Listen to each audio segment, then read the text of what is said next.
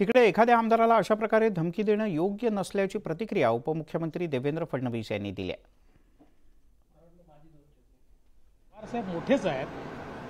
आज इतके वर्ष ते राजकारणामध्ये आहेत.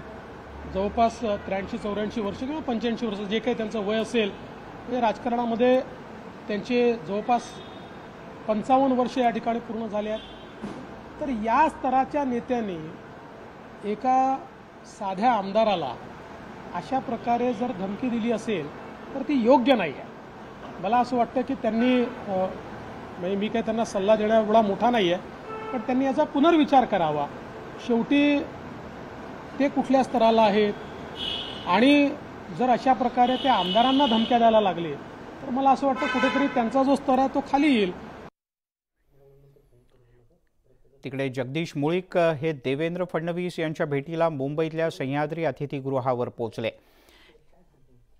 जगदीश मुळीक आणि देवेंद्र फडणवीस यांच्यात बराच वेळ राजकीय चर्चा झाली. त्यामुळे या दोघांमध्ये बंद दाराआड झालेल्या चर्चेमुळे नेमकं पुण्यात काय होणार याबद्दल मुंबईत जास्त चर्चा रंगू लागली आहे. प्रामुख्यानं पुण्याच्या राजकीय वर्तुळात तर उलटसुलट चर्चा सुरू झाली आहे.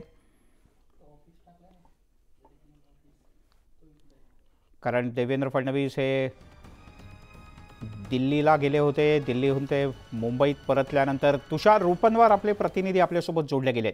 तुषार अ, जसा जसा वेळ जवळ येतोय यादी घोषित होण्याचा राजकीय वर्तुळात चर्चा तर होत आहेत पण या मुळीक आणि फडणवीस भेटीत नेमकं झालं तरी काय?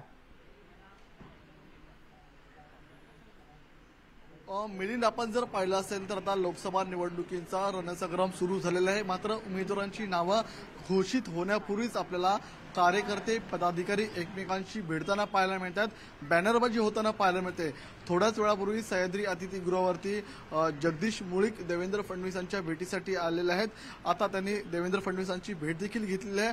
कारण की जेव्हापासून मुरलीधर मोहोळ यांचं नाव पुणे लोकसभेसाठी चर्चेमध्ये येऊ लागलं त्यानंतर जगदीश मुळीक आणि मुरलीधर मोहोळ यांच्या कार्यकर्त्यांनी एकमेकांविरोधात आपल्याला पोस्टरबाजी करताना पाहायला मिळाली. ती पोस्टरबाजी आपण प्रेक्षकांना देखील दाखवली. मात्र मात्र आता जगदीश मुळीक आणि मुरलीधर मोहोळ यांच्या नावाचा वाद आता थेट देवेंद्र फडणवीसांच्या दरबारी पोहोचलेला आहे. स्वतः जगदीश मुळीक देवेंद्र फडणवीसांची भेट घेण्यासाठी सह्याद्री अतिथीगृहावरती दाखल झालेले आहेत.